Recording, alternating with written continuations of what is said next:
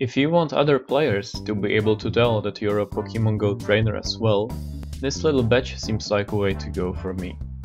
You can get the model from Thingiverse, I'll leave the link in the video description below.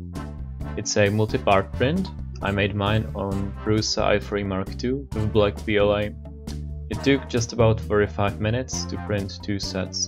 Then I painted them with acrylic colors and glued the parts together. Happy Pokemon catching!